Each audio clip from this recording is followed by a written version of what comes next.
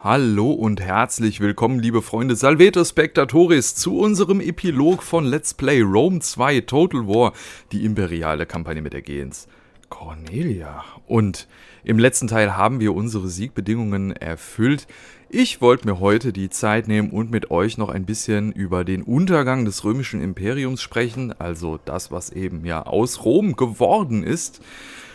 Und äh, ja, das war gar nicht so einfach. Ich habe mich intensiv versucht, darauf vorzubereiten. Und für alle, die jetzt natürlich hören wollen, ja, woran hat es denn gelegen? Hm, das werde ich nicht so einfach beantworten können. Machen wir mal folgenden Anfang. Ähm, es gab bisher so ein ganz wichtiges Jahr, das hat man als Untergang für das römische Imperium immer genommen. Das ist das Jahr 476 nach Christus. Was ist da passiert und warum ist das so wichtig? Vielleicht fange ich mal so an und dann können wir uns über die Gründe unterhalten, warum das dazu gekommen ist und so weiter und so fort. 476 nach Christus setzt der Skire Odoaker den römischen Kaiser Romulus Augustulus ab. Hm.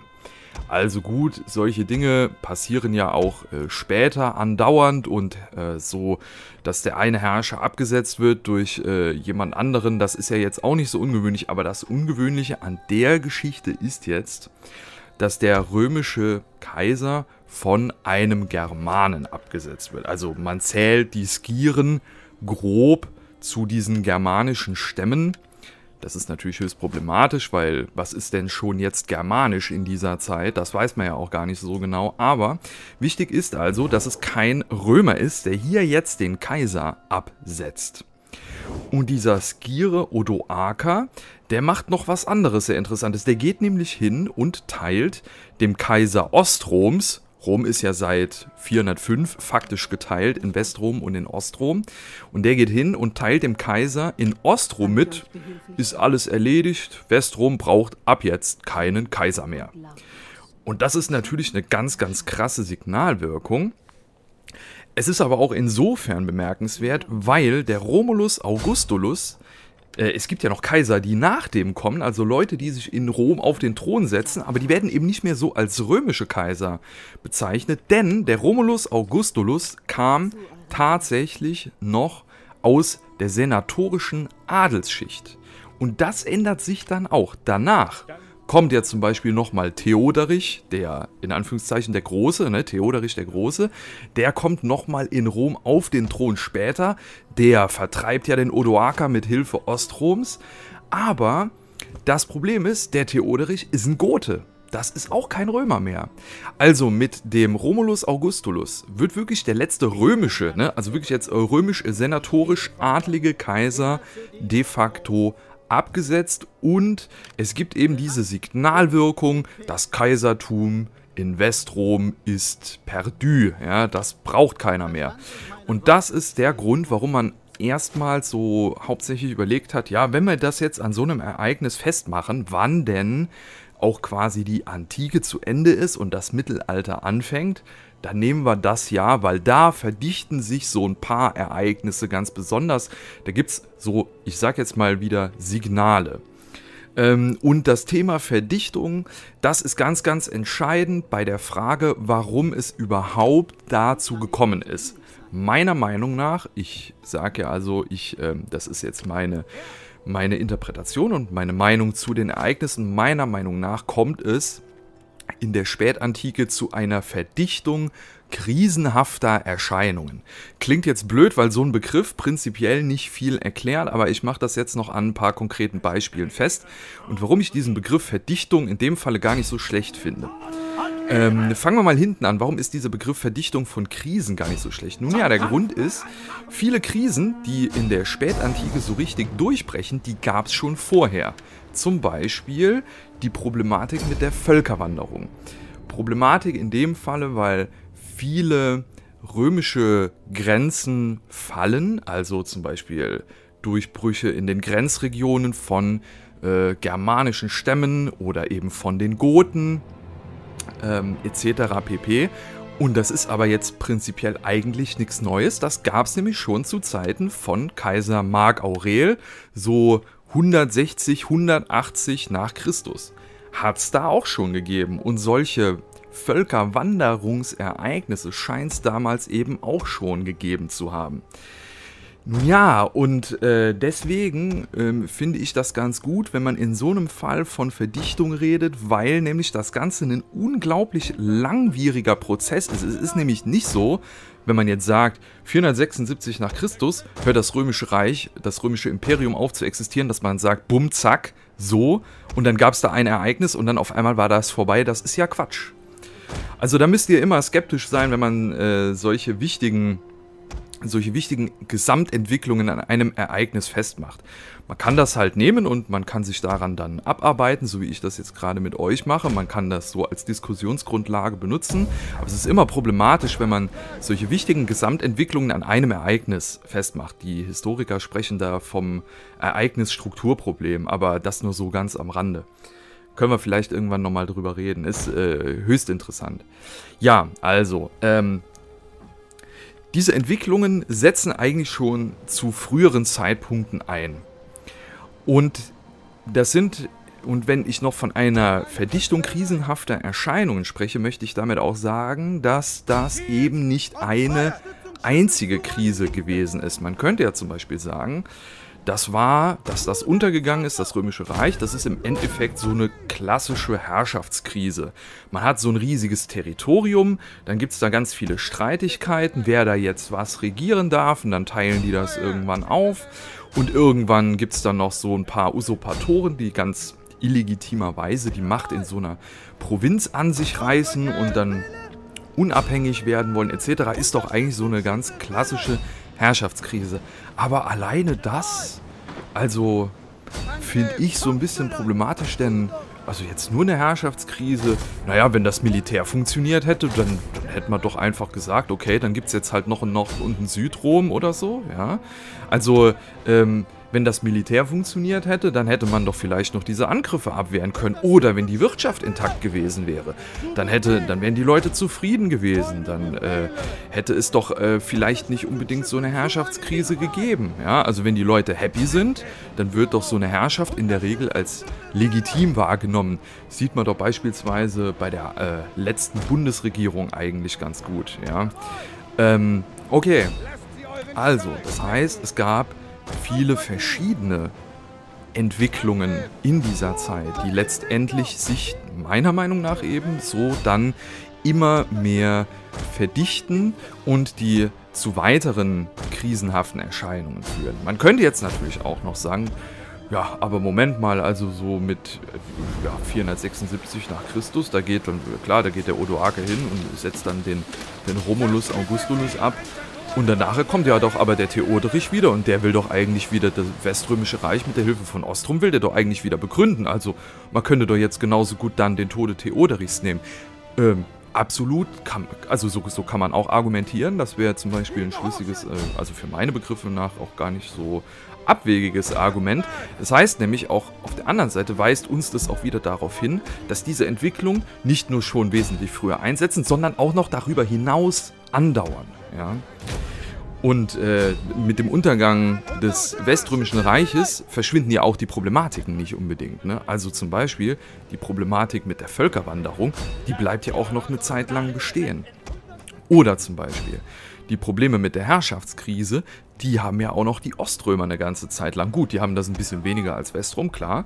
Ähm, die äh, halten sich ja länger, aber ähm, Probleme haben die natürlich auch. Und die haben auch Probleme gegen die Perser, die haben Probleme gegen die Parther. Also, ne, die haben auch an, an vielen Fronten zu kämpfen.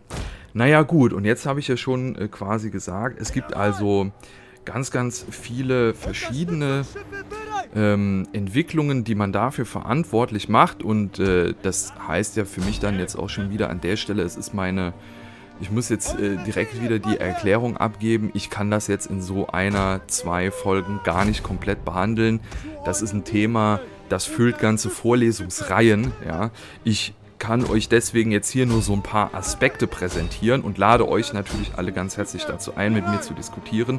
Und ich lade euch natürlich dazu auch mal ein, in die Videobeschreibung zu gucken und die entsprechende aufgeführte Literatur mal zu konsultieren, wenn ihr euch da selber nochmal ein Bild drüber machen wollt.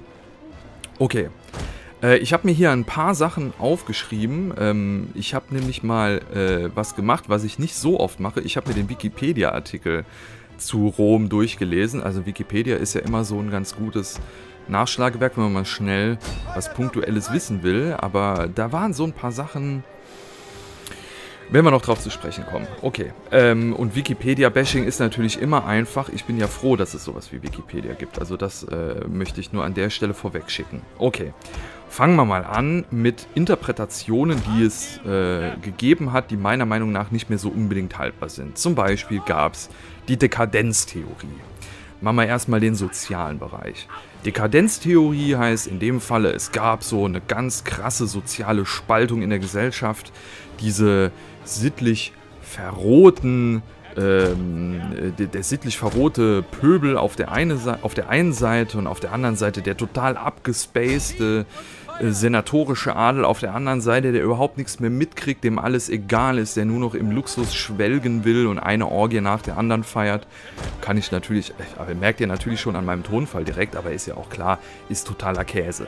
Wenn man mit solchen Mentalitäten argumentiert, die sind immer ganz, ganz, ganz schwer in den historischen Quellen, die man wirklich findet, wirklich festzumachen. Klar, natürlich sprechen auch äh, Autoren dieser Zeit sprechen vom Sittenverfall und ähnliches, ja, aber äh, die haben ja keine, die haben ja keine Sozialanalysen in dem Falle betrieben, wie man das jetzt heute vielleicht machen würde. Ne? Also ähm, das ist ja, das ist ein schönes poetisches Mittel, ne? damit man sich auch wieder entweder auf Tradition besinnt oder damit man wieder in die Kirche geht und sowas, ja. Gab Leute, die haben auch den Hunnensturm als eine Strafe für den Sittenverfall herangeführt es äh, ist also so dieses Dekadenz-Dings, ja, also, äh, oder wenn der, wenn der Westerwelle da von spätrömischer Dekadenz spricht oder sowas.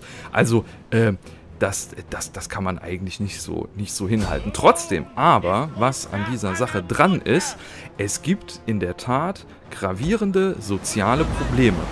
Die zeigen sich in anderen wichtigen Bereichen. Zum Beispiel daran, äh, dass es eine Militärkrise gibt. Ich mache jetzt mal, spann jetzt mal hier von den Bogen zum äh, Militär. Ähm, und zwar gab es wohl eine gegensätzliche Entwicklung. Auf der einen Seite hat sich der, hat sich der Lohn bei den Soldaten erhöht. Die durften dann auch heiraten in ihrer Soldatenzeit etc. Aber ähm, die Bereitschaft, im römischen Heer zu dienen, hat wohl deutlich abgenommen. Es gab viele Fälle von äh, Desertierung also die Leute, die einfach desertiert sind nach der Einrufung, aber auch Leute, die sich versucht haben, durch Selbstverstümmelung eben der Einberufung zu entziehen. Da kann man schon sehen, dass da wohl die Bereitschaft und der gesellschaftliche Zusammenhalt damit auch wohl nicht mehr ganz so stark gewesen ist. Auf der anderen Seite kann man natürlich auch sagen, ähm, der Indikator zum Beispiel, als die, also es, ich, nee, ich mach's mal andersrum, ähm, als die Goten anfangen, gegen Rom zu kämpfen. Es ist ja so, am Anfang werden die ja ganz friedlich ins Territorium gelassen, weil die sagen ja hier, wir flüchten da vor den, vor den bösen Barbaren, äh, die äh, noch, noch viel schlimmer sind und so weiter und so fort. Wir sind auf der Flucht, äh, wir müssen irgendwo Schutz suchen und wir helfen euch dann auch bei der Verteidigung eures Reiches. Dann werden die Goten ja ins Reich reingelassen und dürfen da dann auch siedeln, aber die kämpfen dann später gegen die Römer. Und da ist es ganz interessant zu sehen, wenn die nämlich anfangen, Kriege zu führen, dann schließen sich denen auf einmal auch römische, äh, ich sag jetzt mal Reichsbewohner an. Ähm, und das ist doch eigentlich ein Hinweis darauf, dass es da auch große soziale Probleme gegeben haben muss. Es schließen sich natürlich vor allen Dingen Sklaven und ärmere Bevölkerungsteile an, aber das würden die ja nicht machen, wenn die ansonsten mit ihrer gesellschaftlichen Situation eigentlich zufrieden wären. Ja? Insofern ist das so ein Hinweis auf eine gesellschaftliche Krise. Ja, und äh, als ich eben von den Goten gesprochen habe, die ja da flüchten vor anderen Volksstämmen, die aus dem Osten und aus dem Norden kommen, klassischer Hinweis sind ja immer Vandalen und Hunnen. Ähm, da sind wir bei einem ganz, ganz großen Problem, das immer auch wieder mit dem Untergang Roms in Verbindung gebracht wird, nämlich der sogenannten Völkerwanderung. Auch diese Völkerwanderung hat mehrere Jahrhunderte gedauert und war jetzt irgendwie nichts, was äh, innerhalb von fünf Jahren passiert ist. äh, sondern diese Völkerwanderung ähm, ja, war eben ein langer Prozess und ein sehr vielschichtiger Prozess. Das große Problem bei der Völkerwanderung ist nämlich, viele Leute, viele Autoren haben früher darüber geschrieben, dass diese, äh, dass diese Volksstämme sich auf der Flucht vor anderen barbarischen Horden befanden, aber man weiß ja gar nicht mal dann so genau, warum sind denn diese barbarischen Horden dann überhaupt aufgebrochen? Und das ist so ein Punkt, den ich zum Beispiel auf Wikipedia gelesen habe. Da wird nämlich von einem sogenannten also ich sag's jetzt mal, sogenannten Domino-Effekt gesprochen. Die Hunnen sind aufgebrochen und dann gab es so einen Domino-Effekt. Dann sind auf einmal alle anderen Volksstämme vor denen geflüchtet und dann äh, in das römische Territorium eingebrochen und dann gab es immer mehr, mehr Kettenreaktionen. Ich wäre bei sowas, mh, hm, bei sowas bin ich ich finde, das, das passt nicht so richtig. Denn das, dieser Domino-Effekt erklärt nämlich erstens mal ja gar nicht, warum die Hunnen überhaupt aufbrechen. Das ist ja dann eigentlich auch eine sehr wichtige Frage. Und auf der anderen Seite wird das so, das erscheint dann alles so zwangsläufig. Man, fragt, man muss sich dann ja fragen, okay, also, dass die Hunnen aufgebrochen sind, ist dann ein zwangsläufiges Ereignis dafür, dass dann die Goten nach Rom eindringen und ähm, dann halt eben dort äh, später zu einer großen Militärkrise führen, etc. Ne? Also das wirkt so zwangsläufig. Warum hätten dann die, hätten die Hunden nicht einfach irgendeinen anderen Volksstamm verdrängen können oder so? Ich, ich finde, Domino-Effekt erklärt das nicht so gut. Kettenreaktionen auch äh, schon gar nicht, aber man kann natürlich, man muss natürlich sagen, ja, es gibt diesen, es gibt diesen Effekt, dass sich ganze Volksstämme auf die Flucht begeben und das ist natürlich ein Hinweis darauf, dass da irgendwas Schlimmes passiert sein muss. Aber wir wissen es halt eben noch nicht genau. Und äh, da ist man momentan auf archäologische Erkenntnisse angewiesen, auch mal da wieder, äh, wie wichtig das ist, dass Geschichtswissenschaft und Archäologie zusammenarbeiten und auch eben die, äh, die Philologie, also die, ne, die, die, die, die Wissenschaften, die sich mit den Sprachen wie Latein und Griechisch etc. Äh, beschäftigen. Also dass man da die, äh, dass man da die Ereignisse versucht in den Kontext zu bringen. Naja, gut, aber de facto ist es so, äh, die Hunden brechen auf, ziehen Richtung Westen und treiben offenbar wirklich diese Volksstämme teilweise vor sich her.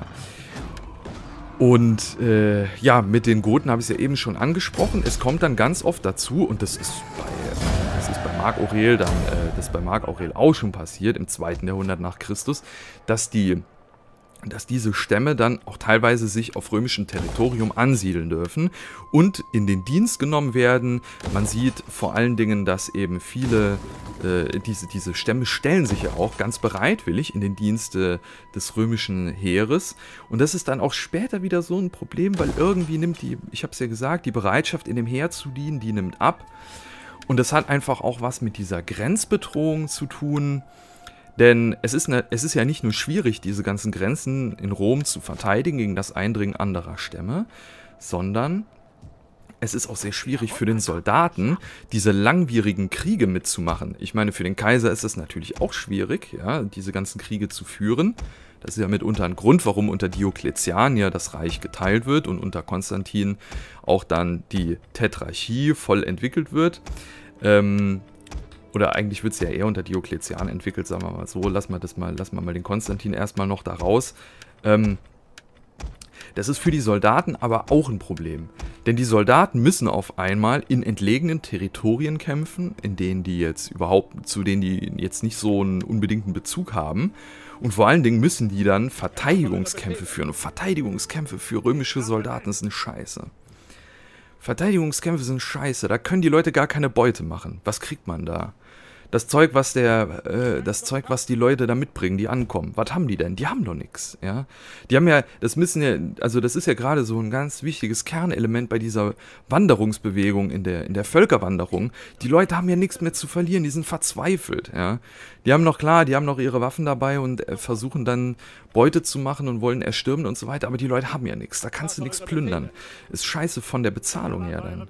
Und das ist, e, das ist eben halt so ein Punkt, warum halt auch die, die Leute ähm, bei Cäsar und Pompeius, warum die auch so in der Lage waren, sich so ein solidarisches Heer irgendwie äh, zu halten. Die Leute wollten auch unter denen kämpfen, weil es da immer die fette Aussicht auf Beute gab. Das waren noch Eroberungskriege. Da haben die Leute reiche Territorien erobert und dann geplündert. Oh, was haben die Soldaten da Geld gekriegt? Ne? Also, und das ist einfach bei diesen Verteidigungskriegen Willkommen. ist das echt problematisch. Auf der anderen Seite sind die aber ultra wichtig. Man sieht das daran, weil auf einmal die Finanzierung des Heerwesens halt so wahnsinnig viel Geld verschlingt und weil ganz, ganz riesige Anstrengungen unternommen genommen werden, um das Heer zu ernähren und vor allen Dingen auch bei Laune zu halten.